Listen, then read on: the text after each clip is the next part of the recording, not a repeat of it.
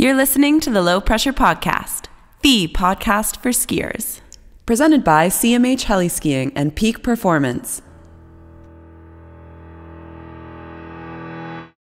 Well, let's uh, give you a proper introduction. We're sitting with Mason Mashon. Is that how you pronounce it right? Yeah, yeah, that's good. That's how, that's how you can say it. Yep. Right. Uh, I'm a big fan. I've always been a big admirer of your photos. Uh, we've crossed paths a handful of times here and there, and I'm stoked you're finally in studio. Yeah. No, thanks for having me. It's uh, it's a pleasure to be here. Yeah, man. So uh, I don't really know a ton about you. Like, where where you from? Where'd you grow up? Um, well, I grew up in Vernon, BC. Did you grow up with like all of the uh, like Riley Leboes and the Yeah. Margettes and the Joe Schuster crew? Yeah. So for sure, I know those guys from Vernon. Um, you know, Josh Bibby, TJ Schiller. TJ was my next door neighbor growing up. For real?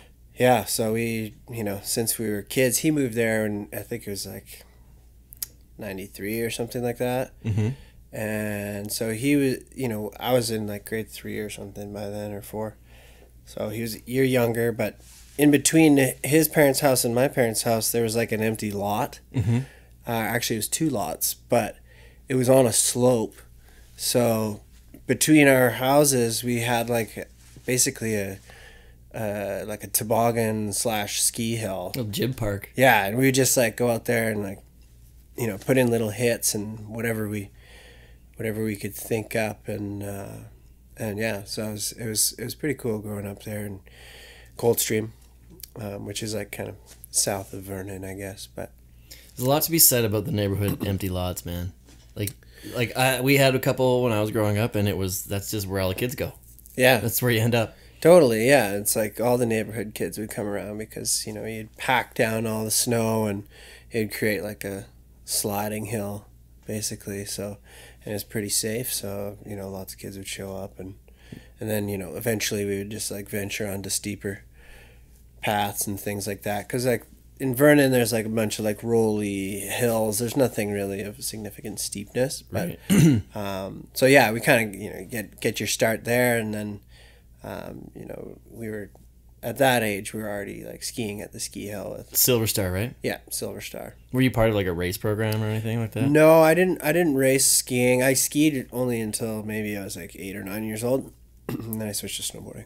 Yeah. Yeah. When did you end up moving out uh, out west?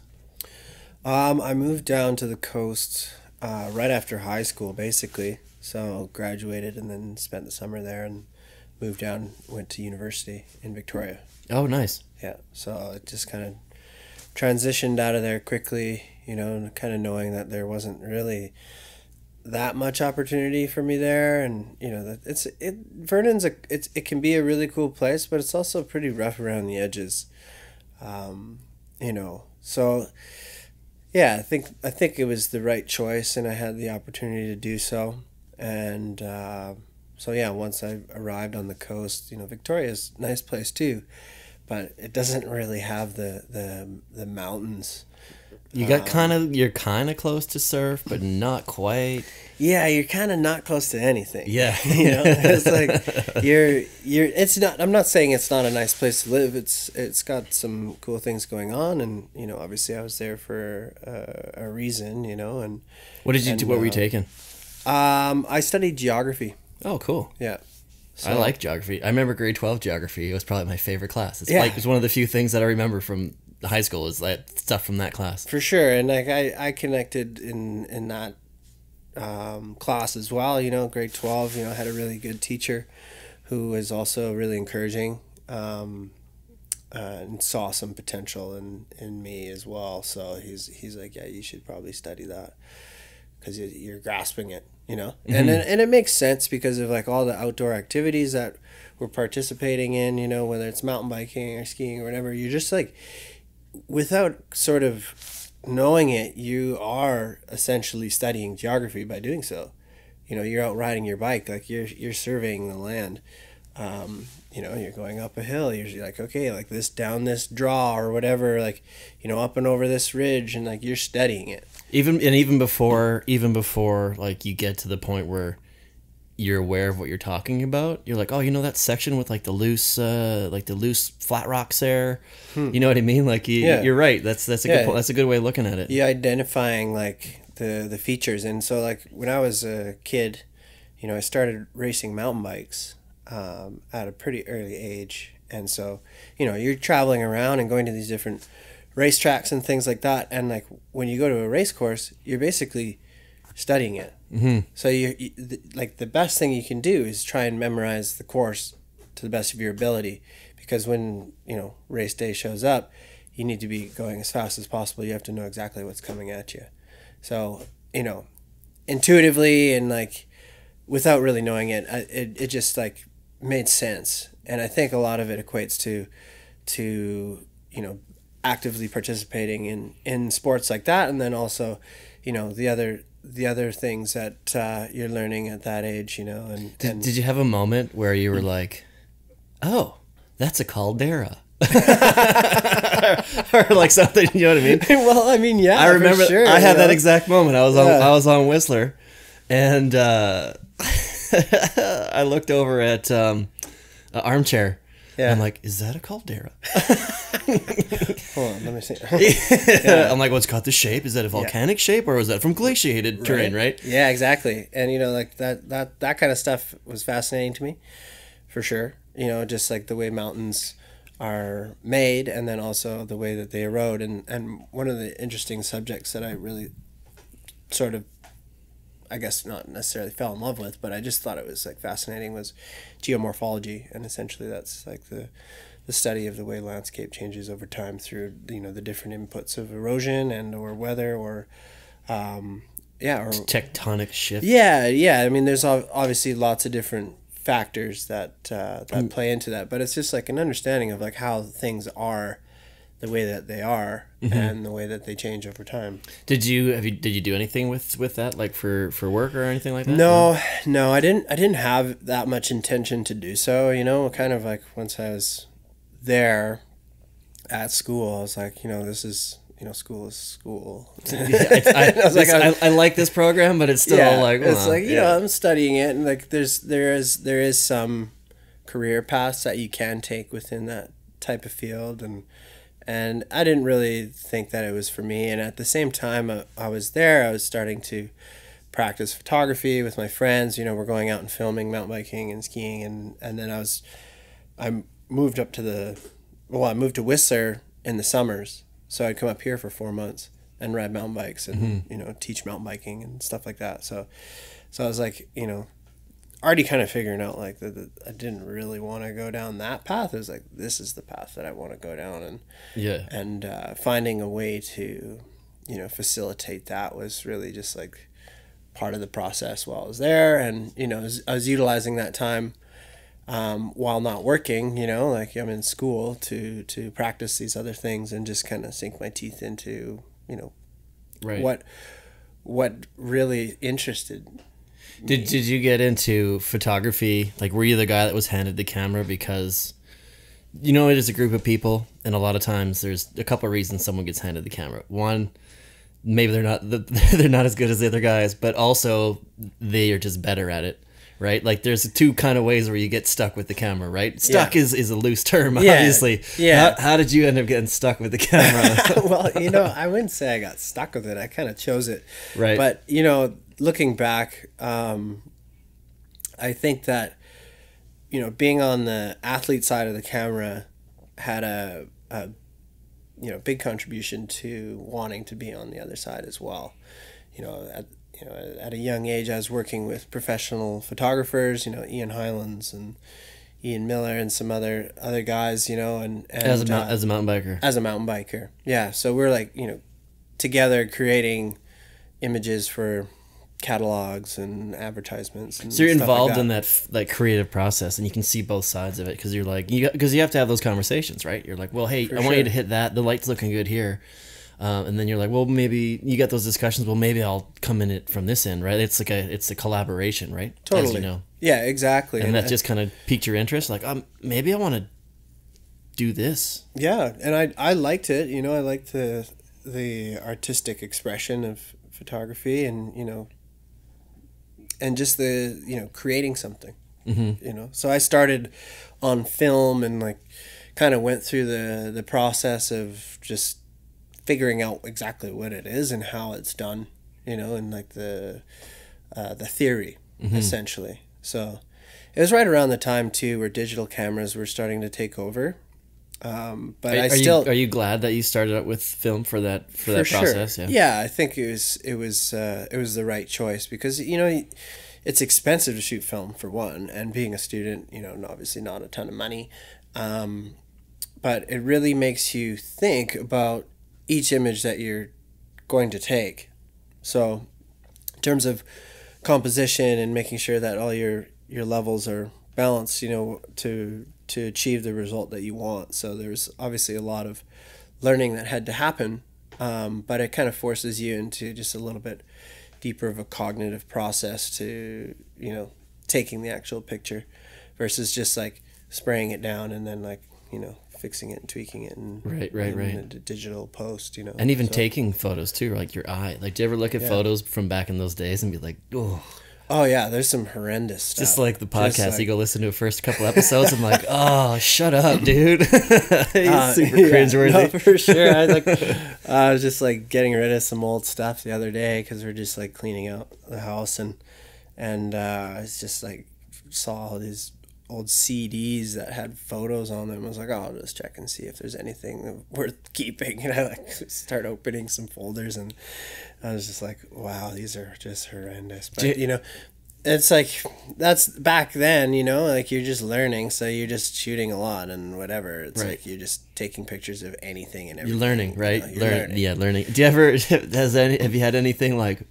There are any photos that maybe got published or that people use or that you see see keep popping up? They're just like ah, like maybe don't want to be like you know what I mean? Like yeah, I mean, I don't know. someone I- goes through the archives and they'll like you know there's an article or something on you or someone goes searching the web and they're like okay let's pull this one up and just use this photo and you're just like what the like what the hell is this one for man? Just call me and I'll give you something, right? I know, yeah. Some people just grab stuff, and obviously the internet is holding all sorts of weird stuff. That Stay tuned to the Low Pressure Podcast website for a bunch of random crappy old Mason mashup posts. I think I'm gonna do that. I'm gonna go find. I'm gonna go see if I can search for one just a random photo from nowhere from somewhere. Yeah, yeah, Go to like the Mountain Mountain Life website from like for sure. I 15 mean, years ago or something.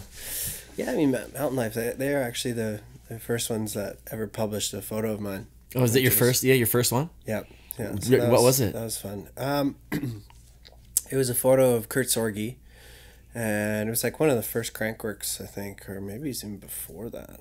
I'm not sure. Could have been a Joyride event. Or, let's see, 2005 ish. One of those. It might have been Crankworx. one of then. those two. But yeah. anyway, yeah, there's like this big double built in the boneyard, and it was like a nice evening. They were just like practicing, and he did this huge Superman seat grab. So it's like shot on film. It was like Velvia, so it's like this super saturated blues and the mountains green, and and he's just like tweaking out this huge uh, move. So that was the first one that got published. But Do you have uh, it in a frame or in a? Do you have the copy no, of it? I don't. I don't. I have a copy of the magazine. I do somewhere Mm-hmm. in a stack of magazines. that I- Yeah. I have for you know. Same, Do you keep 'em same all? Reason. I mean, I, I try and keep like the ones that I, I know have pictures of mine in them, but at this point, it's just like I just have a massive. It's getting overwhelming. you know, it's like it's a bit much. Covers and stuff for sure. Yeah, and then, I mean a couple. Yeah, I don't. I don't have like a ton of editorial stuff, but uh, yeah, some stuff. Uh, yeah, just keep keep for sure.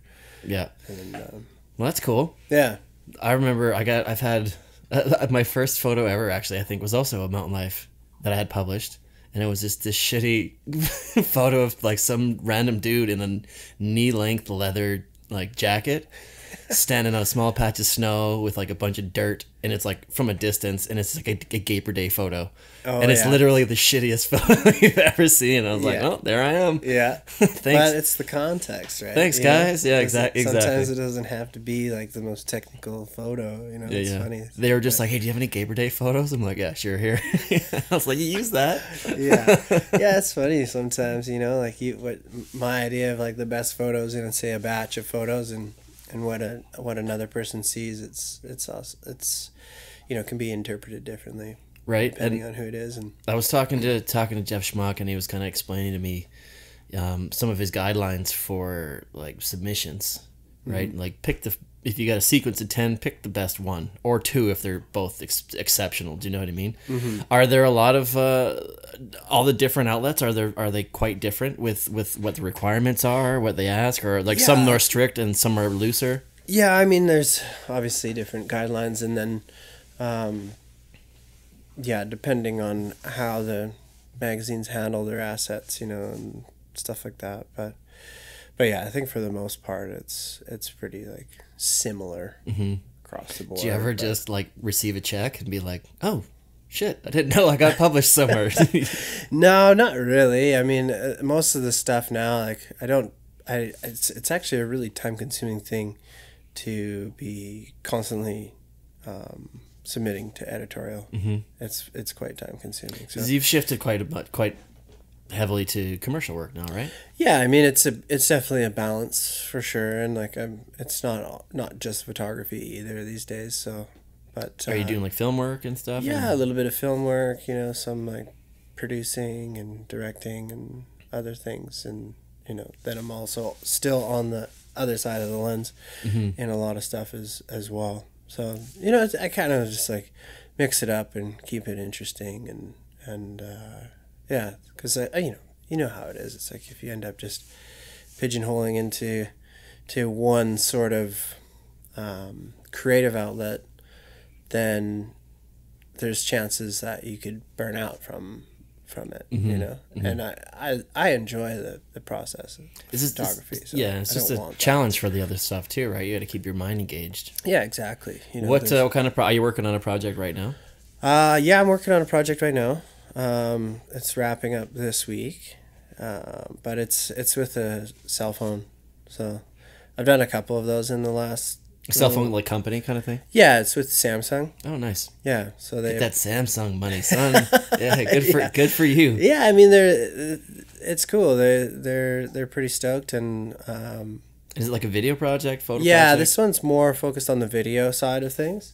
Um, but uh, but yeah, it's it's uh, it's yeah, kind of bringing my photography and filming expertise into you know sort of a mainstream platform and just kind of helping others. Now, would you be like a creative director on that sort of a shoot, or like a like yeah, I kind of like managing the whole thing Hmm. really because I'm they it's essentially like a tutorial that they'll have on their website Oh, and wow. then so like you know I'll be like hey here's the phone and this is uh, this is how I'm using it and like you can use it like this too or whatever and this these are the things that that I look for when I'm out there and Mm-hmm. and uh, kind of just yeah showcasing the the phone in, in that way and it gives you that, that that nice balance between like you said editorial work and and this so now i bet as soon as this is done you're like all right let's go for a shred Yeah, exactly. You know, it kind of just like lightens the load a little bit and Mm-hmm.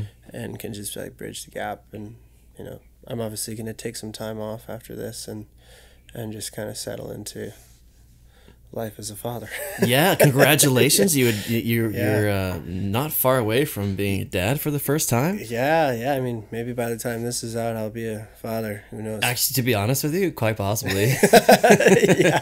So We've yeah, got to- i gotta i gotta give a shout out to tim uh, the editor on the show i think his wife is in labor as we speak as well Oh, wow. maybe your kids will go to school together little Yeah, who knows? right? covid babies Yeah, they're all over the place. You know, a lot of my good friends are, are having babies this year Mm-hmm. as well. So it's you know I think it's it's gonna be pretty cool. You know, having some, you know, having friends that have babies that are the same age. You know, they'll grow up. And it's and it's nice because we're we're you a little older too. We're approximately the same age, I would think. And this is like the second baby wave. Like I had all my friends that I grew up with had all their kids like mid early twenties, and now all my Whistler friends are having their kids like late thirties, early forties, right? Yeah, totally. That, that was the same with with a lot of my high school friends as well. They you know got right into it. Mm-hmm. So half of my friends have like infants, and half of them have like kids that are like Graduating. learning how to drive and like Yeah. you know what I mean? They're Yeah. they're like they're they're able to babysit the kids, the new kids that are coming up, you know. Yeah, exactly. Yeah. Which, which is wild. It's cool seeing those those like cycles go through. I mean, it, it, around here, it kind of makes sense, you know. Mm-hmm. It's like I feel like I, I I was not mature enough at early twenties to be taking on that kind of responsibility, you know, and even in my early 30s, probably still not. Well, maybe not even. I, uh, yeah, the true. I don't know if mature might be the word, but you're just out looking up. You're just living your life. You know, maybe a little selfish to say, or like a little selfish point of view, but like I'm just doing what I want to do, and I'm enjoying myself. So For sure, and you know, there's an elevated risk with a lot of these activities. So it's like, you know, is it the time, Mm-hmm. you know, to to be doing those things when you have someone else that you need to be caring for? So I don't know. I don't know. I mean, there's obviously lots of different ways to look at it, but uh, And that's but good- yeah, I think it's like for sure it's a trend around here to have have kids a little bit later in life, and you know, we kind of pushed it right to the end because Deanne's uh, my partner. She she's like you know hair over forty now, and uh, you know the window is it's kind of closing at that point. So Did you have those discussions? Like, do we want this? oh yeah, for sure. It's just like ongoing discussions for years. You know, we've been together for like almost fourteen years now. So it's like. You know, like okay, are we gonna do this or like you know, and we're just like beating around the bush, like nah, nah, nah maybe next year, whatever. You know, like we didn't really have any sort of plans like that. Um, but then you know, we're just like, okay, well, are we gonna go for it or not? Because this is this is the time, and if we're gonna do it, then let's do it. So we Yeah. just gave it a go, and Pop. There you go. there he is. Well, that's good. The, uh, the adventure, like you know, when you're young and adventuring and that sort of thing, is a good segue because I think that's how a lot of people know who you are. Lots of adventures, especially Mm-hmm. Yeah. a lot of a lot of them specifically with your adventure buddy Bush. Oh, Bushy Wayne, yeah, yeah, yeah. Well, for sure. You know, I think yeah, it's uh, you know, I did build my career on on being an adventurous person, and and you know, I I, I still think that I can continue that, even though we'll have a a youngster in tow. So, yeah, we'll see how Strap how on the goes, baby yeah. Bjorn and yeah, exactly. yeah, let's go. yeah, I know he's definitely he's definitely uh, well, it's it's gonna be a boy, but uh, anyway, yeah, he's gonna have a, a fun life. I hope. So I want to focus in on some of these adventures with your, your partner in crime there. So a lot of Mm-hmm. times, like I'm watching you guys, is you've done so many things, right? Let's go and hey, you guys want to go camping with the plane on the beach? Do you know what I mean? Stories Yeah. Mm-hmm. like that. Let's go build the teepee up in the middle of nowhere. Are a lot of the ideas? I know Bushy's just like let's go have a good time, but I, I watching when you guys do get to get together and I see some of your stories. I'm like, part of me is like, is it Mason who influenced Bush on that one, or is it Bush who influenced Mason on that? one? Was like, hey, come along. So I honestly think a lot of it might have to do with you, and he's just like, oh, that's a great idea. I mean, like it goes hand in hand. You know, obviously we are, you know, adventure partners in that sense. So it's like sometimes it's it's my ideas and sometimes it's his. You know, he he has like pretty crazy ideas. so, and you know, a lot of the time I'm like, I'll, I'll entertain it. You know, if he if he envisions something or wants to do something, I I just kind of like. So on like, the "Oh, par- you- on the if you want me to partnership, come, yeah. you know, like I'll, on I'll the partnership side, or is he more like, all right, let's go, and then you're like, okay, how are we gonna make this actually work? Yeah, I mean, I, I definitely feel like there is a voice of reason that I bring to the conversation.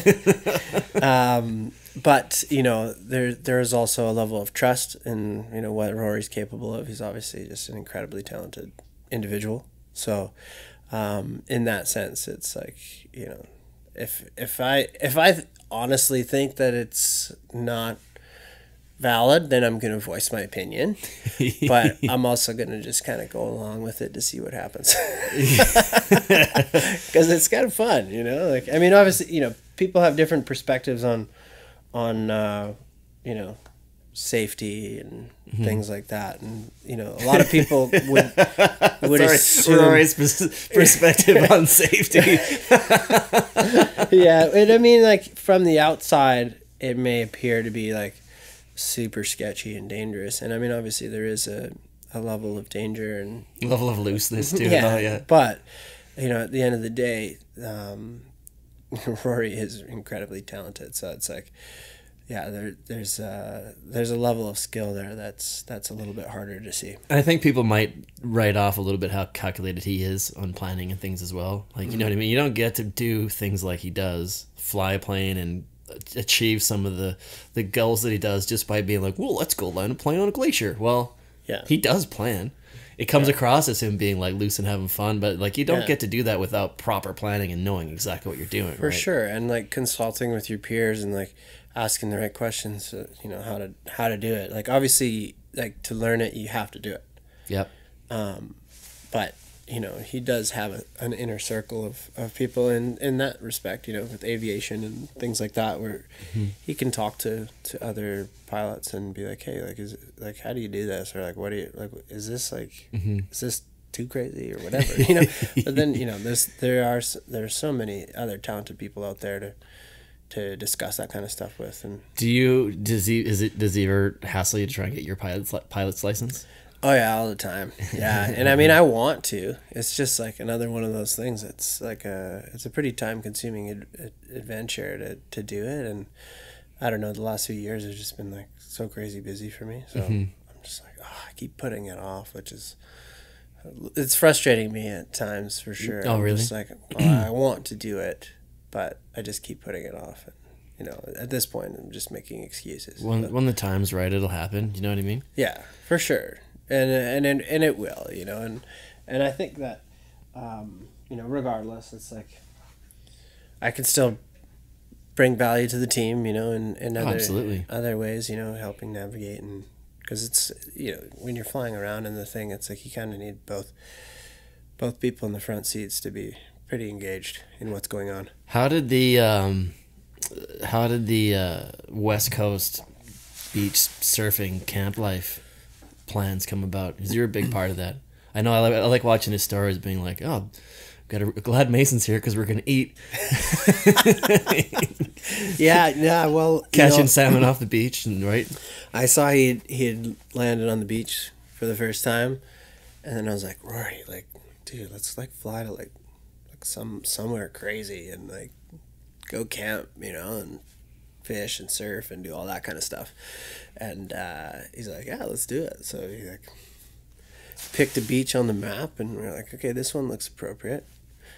And then we went up there, you know. And I mean, we didn't really know exactly what was going on, and you know, we didn't push the plane back enough. I was gonna say, was that before he had those tires? I remember. I think I remember bringing this up because I remember seeing that. Like, we need to get this plane above the tide line. yeah, yeah. I mean, I wrote a story about it in Mountain Life. I think that's Um, yeah. I think- yeah, yeah. and uh, yeah, that was that was pretty crazy because like we yeah we we weren't really prepared and didn't really understand exactly how high the water was gonna go. I mean, we did, but we kind of just like dragged our feet, and then all of a sudden it was almost too late.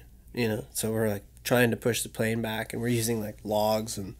all Putting driftwood stuff. under the yeah, just like driftwood pieces and like random stuff, and like to get it, you had to roll it on them, um, and then transfer it onto the next piece, right? So, so you're talking about like kind of a curb in between, and it's like a little sort of rift between each piece of wood. So is he in it with? So- Is he in the plane with like the propeller going, No. just moving, or are you just like no, we're pushing it backwards.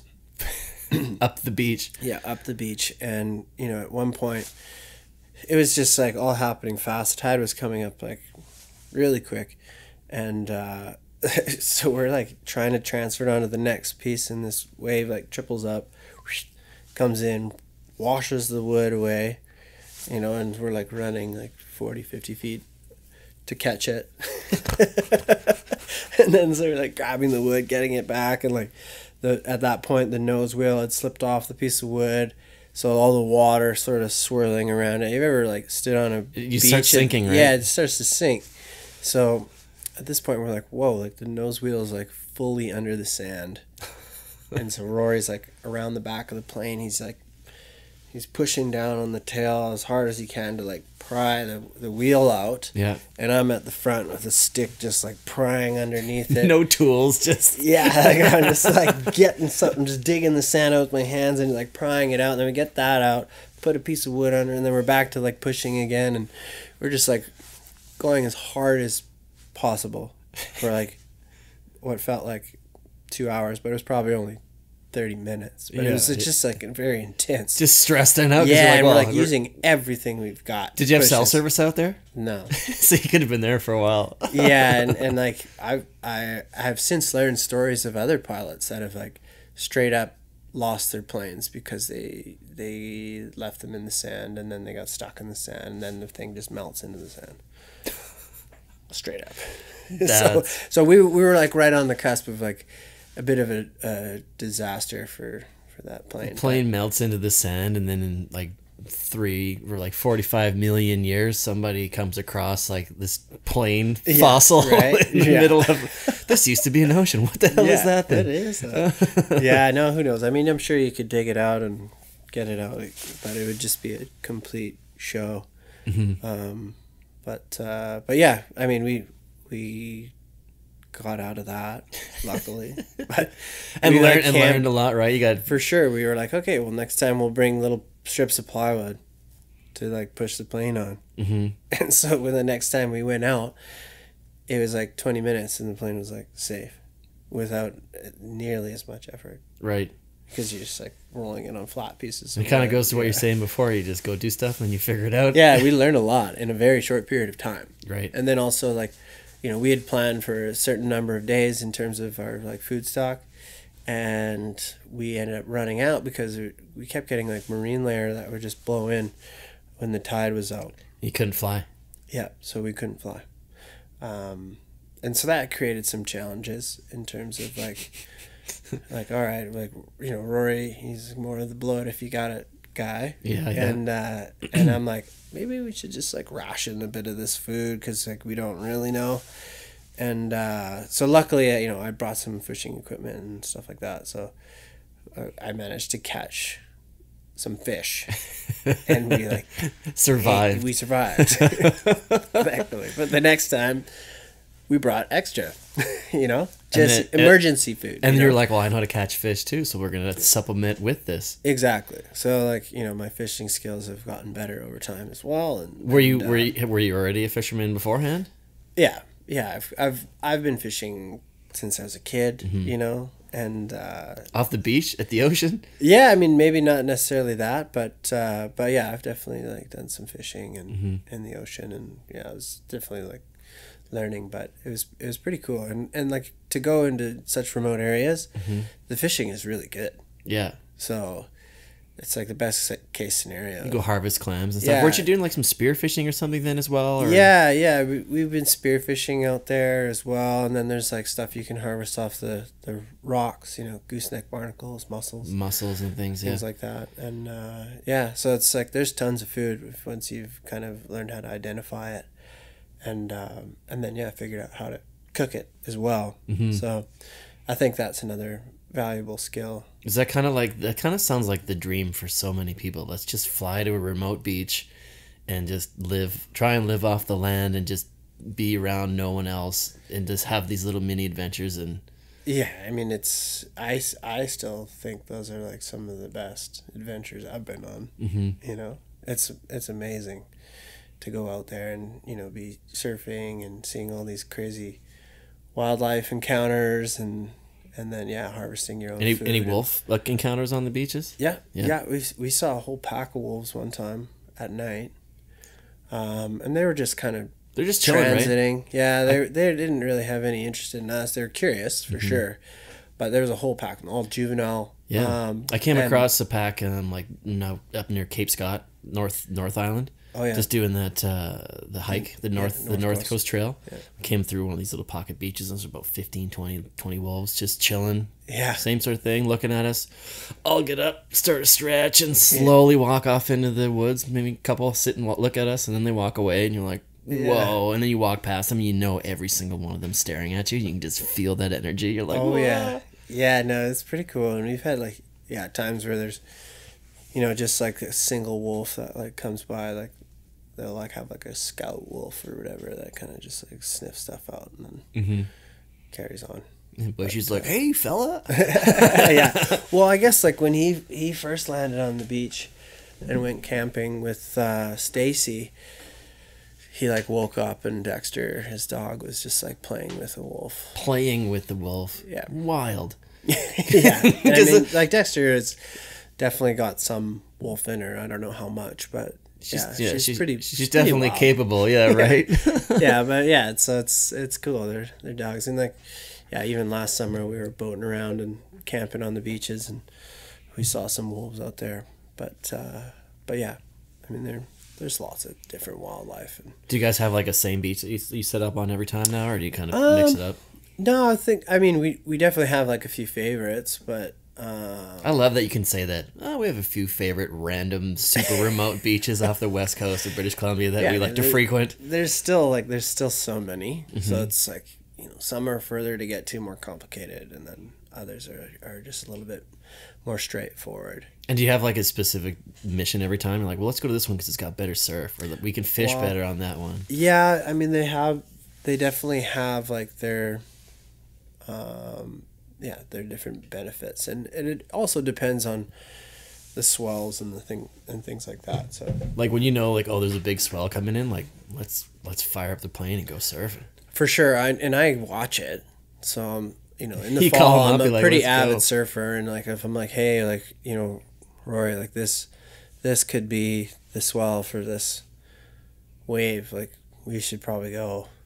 And then You you've got this, you got a private wave.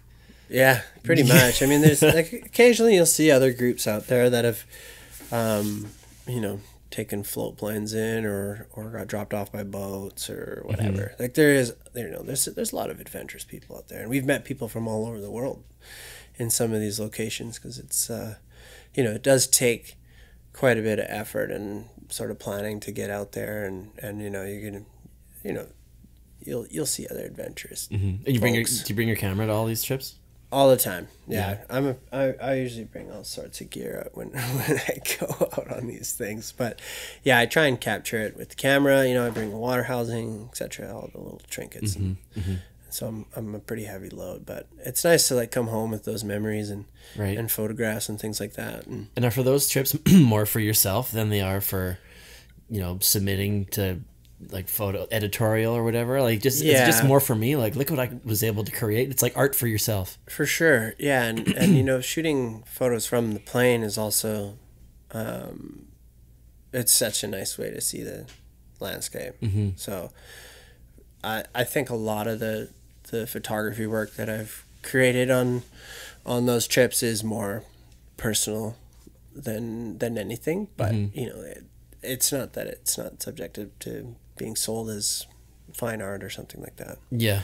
But, uh, It's for but you, yeah, I, I typically don't go out there with, um, you know, uh, those types of objectives. An intention for that, right? It's Yeah. just I just I this mean, is this is what you do and this is what you enjoy. Yeah. Whether it's for work or for not. Like I like Yeah. doing this because I like doing this. And I mean, we've we've definitely like shot some stuff that was for more for work, using the, that that kind of trip as a model. But uh, Pay for pay for airplane fuel, right?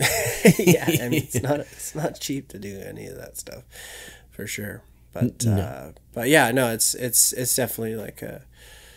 Um, like I said, I, I hold those types of trips pretty close to my heart, just because they're, yeah, so adventurous and, and enjoyable, and and you you know every time we go out there, something special happens. right, right, right. Yeah. That's pretty cool. I also wanted to talk about uh, the teepees, Mm-hmm. teepee teepee town, and uh, you know if I'm not mistaken, you're you're an, an, a member of the indigenous community, uh, which is really cool. Um, that do you do you have like really close ties with kind of your indigenous or your, your indigenous side? Um, Like, would you feel comfortable explaining kind of how that ties in with your life? Yeah, I mean, I I wouldn't say that I have like really close ties and connections to like my indigenous side of my family because it's it's a little bit complicated. Um, but uh, but yeah, it's obviously like a, a part of who I am, you know, and and uh, our family history as well. So so yeah, I mean the teepee the teepee is definitely like a a way in which that I've been able to, you know, connect with with my heritage and in that sense and and kind of utilize that uh, you know symbolism I suppose as a part of my identity.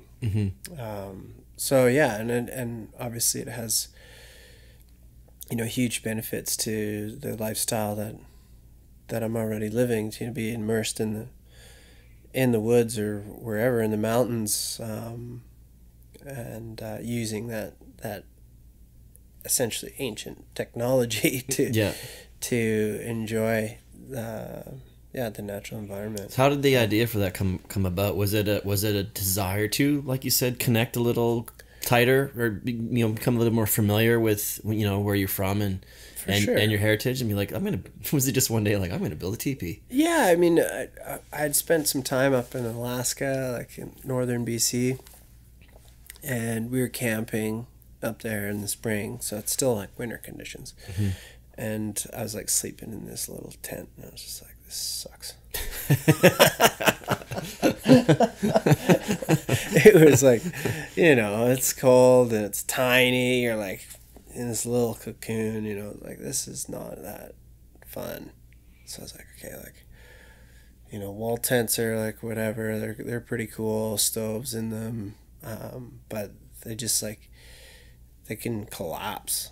You know, mm-hmm. I was seeing some other people using. did you see them. the uh the air dome up at lot 8 I did see that. Yeah, it's yeah. fully collapsed yeah Yeah, so it's like, you know, something with like, you know, angular surfaces like that, flatter, um, could collapse under heavy snow. And you know how much snow we get here. It's crazy. It's like, it's snowing right now yeah, it's Like- snowing right now. like crazy out the window. There's all sorts of buildings and stuff collapsing these days. Like, yeah so it's like, yeah, obviously, you know, it's like, okay, started piecing it together. I was like, well, the teepee is like, that's the, that's the shape for like living in deep snow and, Mm-hmm. you know, not stressing about your setup collapsing, basically. right So I was like, okay, well, that's that. you know, that, it's like the light bulb came on. I was like, that's what I'm going to do. So the next year I, I went up, I, I stopped at my friend's place in Moberly Lake and he's, uh,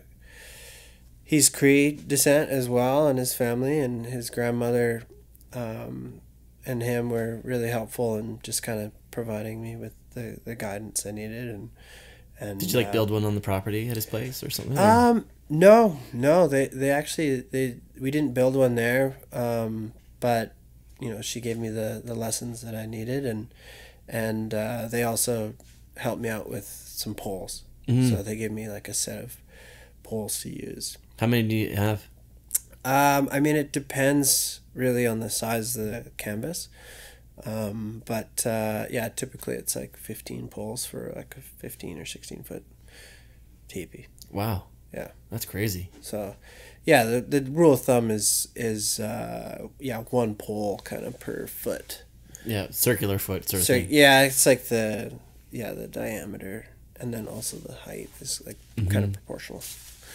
But uh, but yeah, so anyway, that that was like the beginning of, of that adventure, and and you know I went up north again and camped in it for three weeks, and you know being able to have a fire and and were you up there for work and, and things um, I mean, kind of yes, but kind of no. you another, know, another life another just maze like- adventure yeah It was just like, uh, yeah. I mean, obviously we were up there to shoot skiing and enjoy it, but there wasn't any sort of attached assignment to it. It was like, okay, Mm-hmm. this is just like life goals. So everybody's in their their expedition tents, and you're in the you're in Yeah, the, well, the, TV no, the crew was in like an RV, and I was like out in the out in the flats, like camping in the in the teepee. So and you prefer it.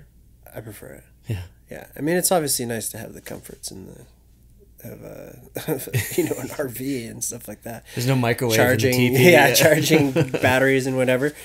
Um, and, you know, we'd hang out in there, but uh, but yeah, it was just nice to have the the, the teepee to just more space and What's like the square footage? Like, is it like like where we're sitting right now, kind of thing? Like this little square? yeah, it's- yeah. Well, it's yeah, fifteen feet across, and then obviously if you're on deep snow, you can dig it down.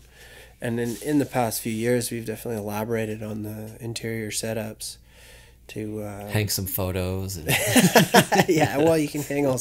You kind of have to hang lots of stuff.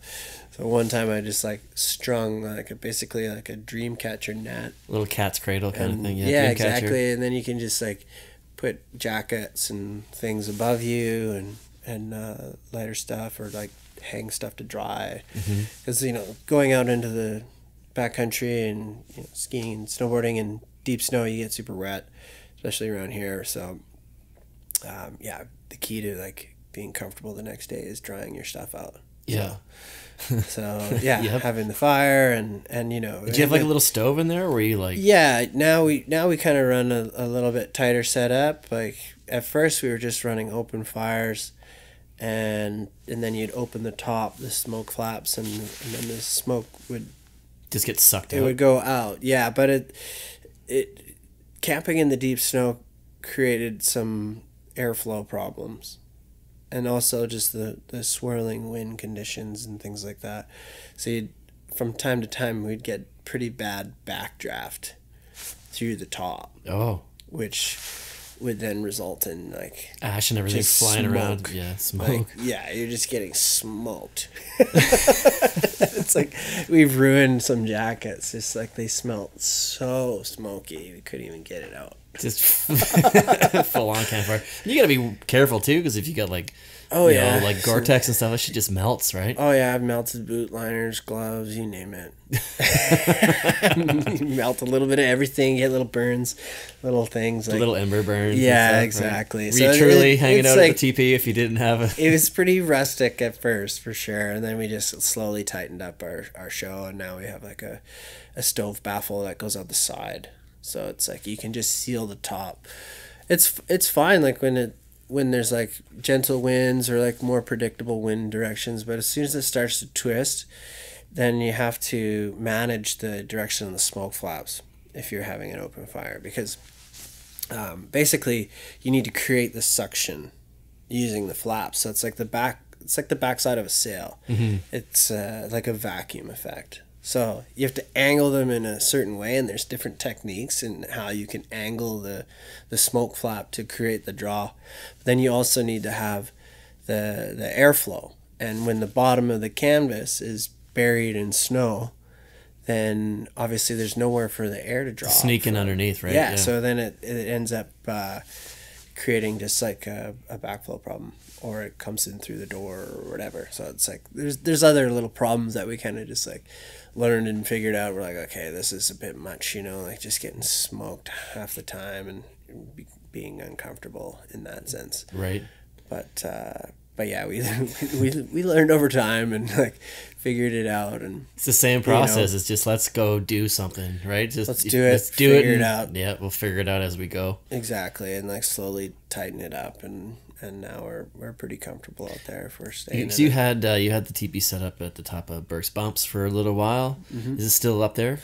um, well, I don't leave it. no, but like- is it still but- like have you set it up for this season? No, I haven't set it up this season. No, No. no. I I just figured with Junior coming, it's like, you know, it, it- there's a level of maintenance that needs to be, um, yeah, taken care of Mm-hmm. when you set up. So, I don't want to leave it up and Right. not be attended to. Basically, Yeah. it's just like it's a nice piece of fabric and. And um, yeah, I just don't want it. Do you just It's have like it's a, a lot of work to, to set it up and just to it. get sledding out fifteen poles?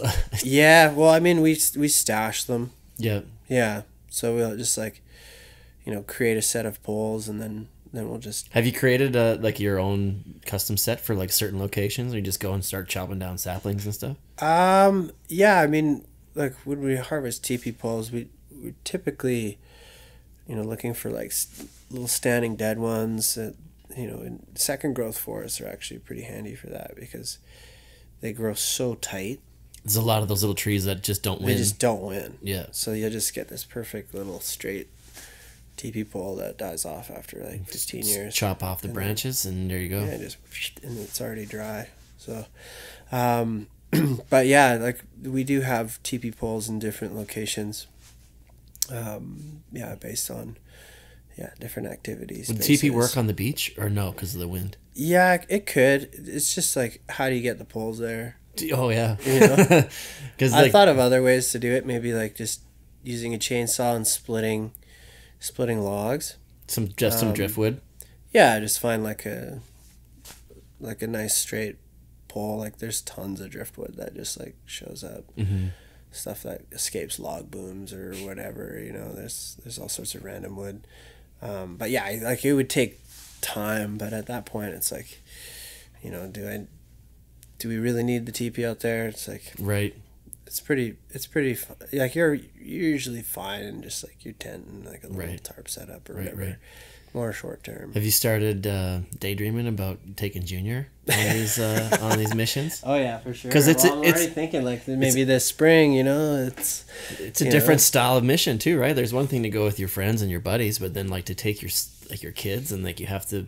That's a whole new learning experience for you as well. Like I know how this works, but now how do we incorporate a child or an infant? absolutely yeah. We're we're definitely thinking about it. And I think like maybe this spring, once um, once we've sort of dialed in our program a little bit more, obviously, like we have to kind of figure all that stuff out as well. You know, um, but yeah, I think that's definitely an option for us, like to to go up there and set it up, and then camp with the with the youngster.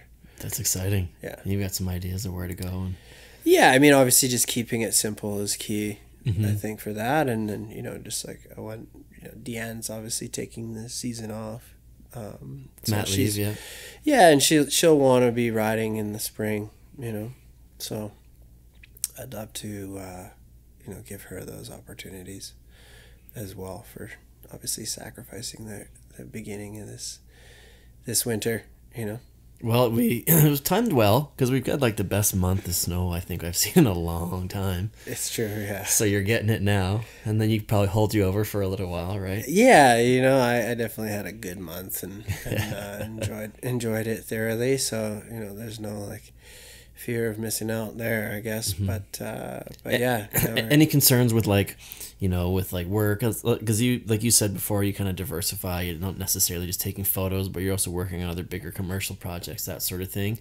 Do you have any concerns or, or worries about work and, and providing now that you've got a kid coming along the way? Because Um, no, I'm not. I don't have any concerns, so to speak. You know, obviously, I'm going to kind of uh, deflect some of the the work opportunities uh, into you know maybe middle of the winter Mhm. And into the spring. But uh, yeah, that, I mean that being said, it's it's uh, yeah no not really too much stress. We've saved up money and and uh, yeah, so we can kind of just cruise for the sounds like you got it dialed, buddy. That's that's awesome. yeah so it's good and and you know there's still lots lots of work opportunities available so yeah Are there any like projects or any like bucket list items with your photography or with your creative output that are just nagging on you? That you're like maybe not nagging, but like are just there. It's one of those things that just get more and more and more. yeah i mean well there's always ongoing projects mm-hmm. you know and the ones that just get backburnered and things like that but you know i've i've been pretty passionate about powder surfing Pow, yeah, I'm Yeah. glad you brought it up. I was just, I was excellent. I was just thinking that because you're a pow surfer. Yeah, and I love it, and it's something that I've I've uh, been doing for a while now, and really enjoy doing it as well as also creating the boards to do it on. Do you work with Gary Wayne with with Sheldon? yeah, yeah, I've worked with Sheldon on a bunch of boards. We've created I quite think a few together. I think if I remember correctly, he was episode three. I think it was episode three, and he was doing Gary Wayne sh- Gary Wayne shapes when he's making skis, oh wow, and he came over with like a pair of like parabolic like, Gary Wayne shapes with yeah. the Skullcandy top sheet on it. I think it was episode episode number three. I think. Wow, that's Um, awesome. And then yeah. and then he's gone on to pow surfs to uh, wake foils. yeah, yeah, he's doing like wing wing foils and all sorts of other like composite kind of things. So it's it's pretty cool. And I go and sit down with him and we just chit chat about making stuff and you know I always bounce ideas off him because he's such a clever guy. Right? He's a, You know? yeah, he's a builder. He's always his mind's always tinkering. Even when he's not tinkering, his mind is. For sure, constantly. Right. And yeah, he's got lots of great ideas, and then also he puts them in application. So it's Mm-hmm. it's pretty cool. And I've, I've I've been following along. He's just like taking off with the wing foil stuff, and just like he's having so much fun with it, and it's really it's really cool to see him Yeah, seeing like his that joy. vi- you know. videos of him like pumping like a wake behind the Adam's boat. Yeah. On the way to like the Howe Sound. Yeah, he taught me how to how to do it. Oh yeah. Yeah. Is it so he- is it as hard as it looks? It's super hard.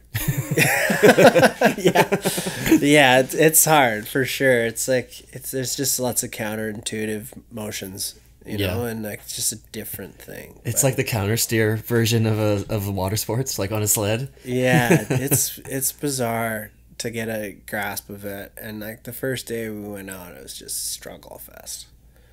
I like never felt so kooky in my whole life. you know? like, you know, I don't know. You know, you, you you think that you have a pretty good handle on board sports or whatever, but I was just like brought down to level one. Yeah, right. You know? Hu- humbled. Yeah, exactly. And, and then I tried it again later in the summer and, and got a better grasp of it. Yeah, yeah. And it kind of clicked in a little bit more. But yeah, I was just like, wow, this is not easy. And I don't know if it was just because the board we were using to just get the feel for it was like a large object. And, Mm-hmm. you know, it's this big floaty thing. And it does make it easy because you can start standing on it. But Yeah. but once I tried a smaller board, I was like, oh, actually, this is way easier because it's way lighter to control. So you can like, yeah, like you can use your balance skills. Does the feeling easier. is it- is it when you finally get the hang of it? Is it similar to say like riding a no board? Um, I mean, yeah, it's like three dimensional balance. Mhm. So it, it is like, it is similar in some senses, Mhm. but what's different is that the like fore aft balance, you know, it's like you press on the the nose and the thing like accelerates kind of. So it's like trimming, Yeah. like a surfboard or something like that, more more mm-hmm. water sport related. You know. What is it? What is it about the no boarding that like really fires you up about? You said you were thinking about you know doing some sort of project, or it's it's kind of really what inspires you right now. Yeah, I mean, I just like want to basically write like a love letter to snowboarding, you know, in the in the form of film, and uh, Oh, pow film yeah, hasn't really been done before, has it? it has Like yeah, big, like a big length, full length. maybe not full length, but I don't think I would be able to tackle a full length at this point. Mhm. It would, it would depend really ultimately and, Yeah. on how much money you could raise to do it because it's obviously like filmmaking is an expensive thing to do Right. and uh, yeah so yeah i just i just love that sport a lot and you know the there's this sense of pureness to the interaction with the board and you know you it's just a it's such an enjoyable thing and i, I just want to kind of speak to that in in uh, in a film sense you know like because it's yeah you know riding those things in deep snow and just powder and just like it is like the closest thing there is to actually surfing Right. So you're not strapped down. It's just a nice loose. You're just going with the terrain and the conditions. exactly and you know we're, when we're out there we're constantly looking for features that resemble um, waves or Oh, yeah? like you know to achieve that feeling finding like banks and things like that where you you know you, you, you go up and get a sense of weightlessness as you crest the turn and then you just like crank on the thing and just spray snow and whatever you know it's just like And it's accessible for low angle terrain too. So you- you, you can ride it almost any time, no matter well within reason, whatever the you know the avalanche conditions or the snow conditions are. You can find a spot where you can go. Totally. Yeah, it's it is in that sense. Yeah, it it broadens the horizons, I guess you could say, in terms of like what you can find simple joys in, you know. And I think the challenge too, is just like it is kind of hard to ride them effectively. I've wanted to get one for a while. I was hoping maybe this year was going to be the it'd be the year. We'll see. yeah. And uh, yeah, I think like it just makes like simple terrain exciting. Like you do like a six foot drop off a pillow and, and land it, and you're like, wow, like I can't believe it. Like Oh, when you're on a s- when you're on a Yeah. snow, snow yeah. and you're not strapped into the thing, so it's like, yeah, it just like makes it exciting and and it's yeah, it's super fun to to ride. Um, but yeah, you, you also need like the, the right conditions and things like that. So it does take like a a few different variables to to line up, but yeah, there's typically always something you can kind of ride on those things. Yeah, is that kind of your go-to these days, or like on a, on say a day like today where you don't have a million errands and tasks and podcasts to, to record? like, are you are you getting together with some buds and you're going no boarding? Are you going to go up on the mountain? Like, what's your what's what's your kind of a day like today? Yeah, I mean, a day like today, if I know the snow's deep, uh, it's like snowboarding. Yeah, that's your Yeah. go-to now. Yeah, I mean, like I I usually bring a snowboard as well, but I'll just wear my powder surf boots because there's like a specific sort of boot that we wear for those, and they're essentially like. It's not like it's not you like it's not like a snowboard boot. No, they're just super soft. So there's like there's no rigidity in the shell. Because you have to be able to have the boots got to be able to like mold to the board, like, fle- yeah, like flex need into the board. Yeah, and you need ankle um, articulation. So, and that's like part of the, the So you could do like the a pair, beauty. pair of rubber boots or something. Yeah, well, those are my powder surf boots right there. Oh, okay. I was wondering because I was looking at those because they didn't. That's what I asked you. I'm like, are you going riding? I'm like, those don't necessarily look like snowboard boots, but they also aren't snowboard boots. Yeah, those. I mean, that's kind of like a hybrid, and that's what it's evolved to. Uh, Wolle Nyvelt, uh, he's he's like the Äsmo guy, pro snowboarder, um, and he's worked with Vans on those to to create this boot, and it's like. It's a combination of all those effects, like having just enough stability that it's still like safe ish. Mm-hmm. and and then yeah, having all the articulation and board feel Yeah. because you, you really need to have a good feel on the, the surface of the board and what you're gripping onto. So Are those your sled boots now too? yeah, well, I sled in those. I guess Well, sled, snow, yeah, kind of double Yeah. duty, right? Because if you're going sledding, you're bringing your no board with you. for right? sure. And I I don't love sledding in those because they do, they don't have um, much like support for impact. Mm. So if you hit something hard or like do a jump or something on your sled, like it's uh, it's not the best boot for it. Let's just say it. Like yeah, I have like some minor ankle problems and it doesn't help.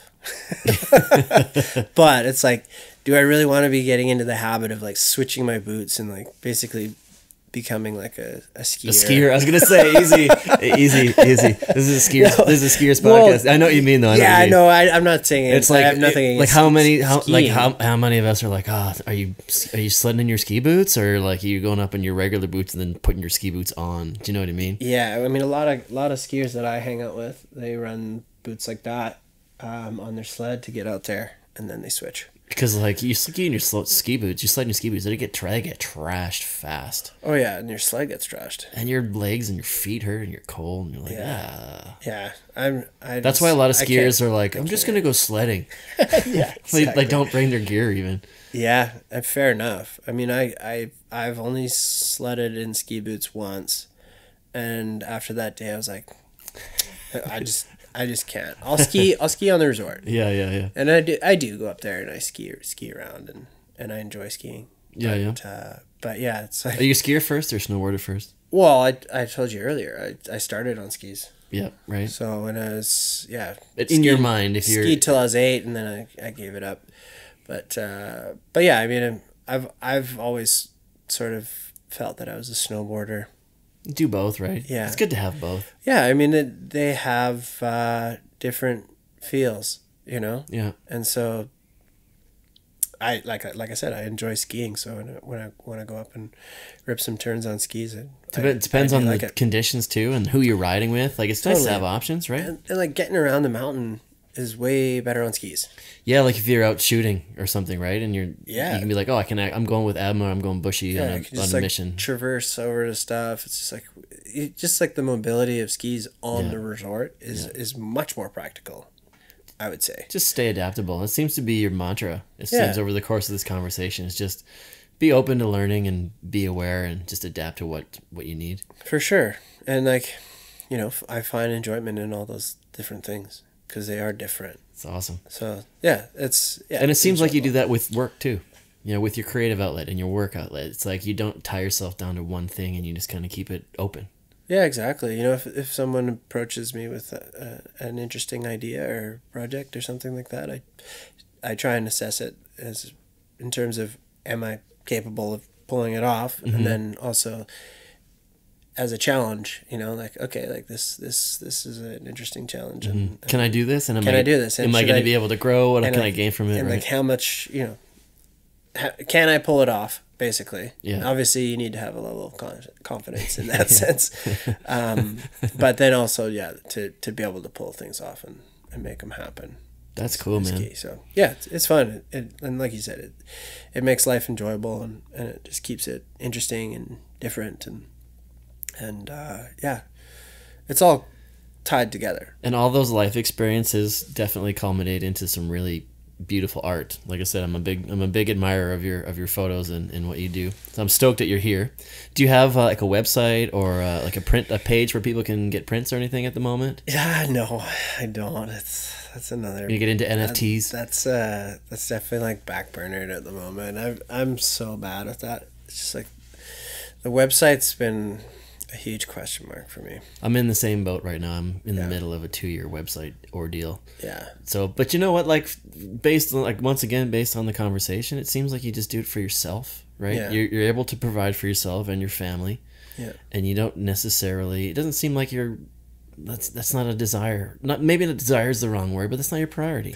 yeah. And, and I mean, it, it, maybe it should be, but it's also a function of time. Mm-hmm. You know, There's only so many hours in the day. there's some. Yeah, there's only so many, and like you said, you're in a two year website project. It's like it's it, a it lot. was, it was and meant to, be like six months or, or three.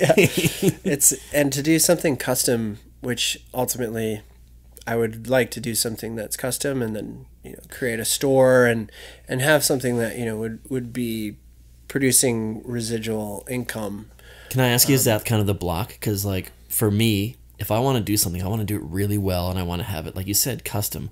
I could easily just go to a Squarespace or do something that's just super boilerplate and it gets the job done. yeah But I don't like that.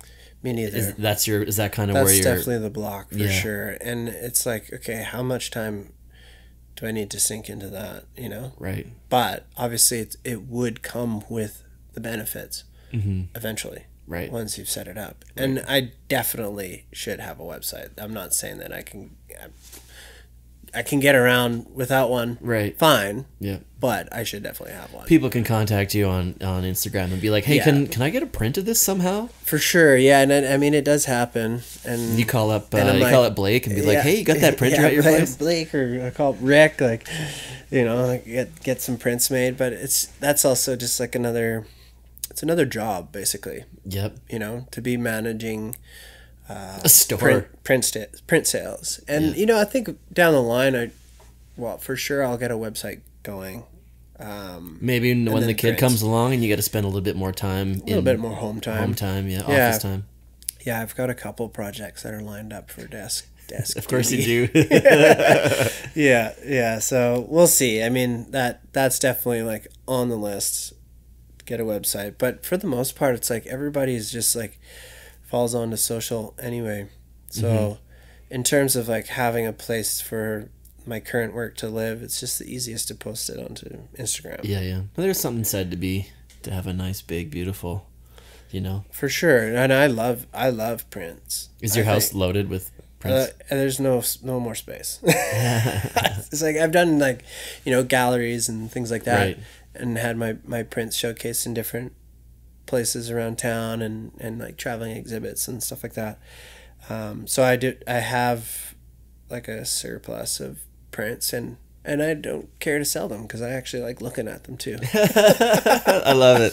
I love you know, it. I mean, I have too many, so I like I Fair put, enough. I put some in my friends' places, their Airbnb. So when you go and visit, you're like, yeah, Yeah, like, oh, yeah, yeah, I'm gonna come over for a beer later. I'm gonna. Yeah, go. look at, look at no, I'm not, I'm not, not, not necessarily that, but um, yeah, no, I, I, I really like that, and I think that you know down the line, I definitely want to focus on on doing more fine art printing Mm-hmm. and that kind of stuff, but that comes also with uh, having the right uh, space to to be able to pull that off. right as well. circumstances and the time. Yeah, you know, like it'd be nice to eventually have like a shop that I could create frames in and Yeah. and like build these, you know, more elaborate pieces of art.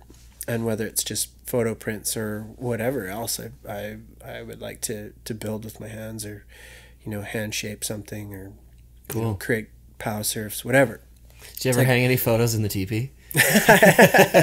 No, but you know what we do in the teepee sometimes is we we set up a projector. Oh, cool. Yeah, and you just project. So you can get those little want. ones that attach to your phone now, right? Yeah, exactly. It, yeah, it just like plugs into a lightning cable or whatever, and and uh, yeah, it shoots shoots the image onto the side, and you can watch videos or look at photos, or you know, sometimes like we're just camping and and uh, yeah, we'll just do like a little little slideshow. Living the We life. just like man. reflect on on fun times and things that we've seen, and it's it's kind of a neat way to just share photos. Like Like when you're just hanging out, you just pull up the tiny little projector. Yeah, so you don't actually just crouching over a phone, but you can actually. yeah, Yeah, that's yeah, sweet. exactly. That's like, really cool. You, know, throw it onto a wall or ceiling or whatever. It's like it's a pretty nice little little gadget, I guess. I dig yeah, it. it's pretty fan- fancy. I, I little dig things. it. Well, man, uh, that was. Uh, thanks for coming. Like we've already gone like an hour and ten minutes. Oh wow. Goes fast, eh? Oh yeah, I know, I know. Could sit I here mean, for a once you- while. once you get going, it's like Right? And especially when you're talking about stuff you like to talk about. yeah, for sure. Where can people find? Well, since you don't have any prints or anything yet, you know, I'm sure you'll let me know when that happens. But uh, Yeah. where can people go find you now? Well, I mean, Instagram is probably the easiest way. You know, Mm-hmm. What's the handle? It's Mason underscore Mashon. Easy peasy. Yeah, Too simple. yeah, that's my name. Awesome. And uh, I'm gonna get you to send me some some photos that we'll we'll post up Yeah, of course. uh, on the website and on the on the Instagram site as well. And Yeah. go go check out his work because it's awesome. And I think a lot of uh, this conversation was good for me because I've always, always like I said, we've crossed paths a handful of times, but I've never actually had a full conversation with you. And you do all of these really fascinating things that I always wanted to know, like how does that work within his life? And it seems like that's pretty much what you do. You just live to live, and then you make everything kind of fit in place. yeah, that's that's the idea. I mean, like, we have one one shot at it, you know, and to make the most of it is really the name of the game. Well, there you go. I don't think there's a better way to end it off. Cheers, No, buddy. thanks, Thanks, Mark. Thanks for coming by. Cheers. You've been listening to the Low Pressure Podcast, the podcast for skiers. This has been a Redmark Media production.